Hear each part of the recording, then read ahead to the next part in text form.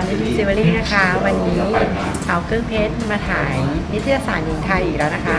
จะนำเสนอเซตนี้นะคะ เป็นเซตขึ้นปกค่ะ เซตนี้นี่ก็ออกแบบดีไซน์ให้มีการกดนะคะ เหมือนเถาวัน ให้จากให้แนวเหมือนกับเป็นธรรมชาติอะค่ะ มีเหมือนรายใบไม้อยู่ค่ะ แล้วก็ตรงปลายสร้อยก็จะมีเป็นรูปหยดน้ำนะคะ ก็จะเข้ากับชุดที่ถ่ายในวันนี้ แล้วก็เข้ากับนางแบบค่ะที่เขามีรูปหน้าตาที่ออกแนวหวาน ติดตามดูได้นะคะ นิตยสารหญิงไทยค่ะ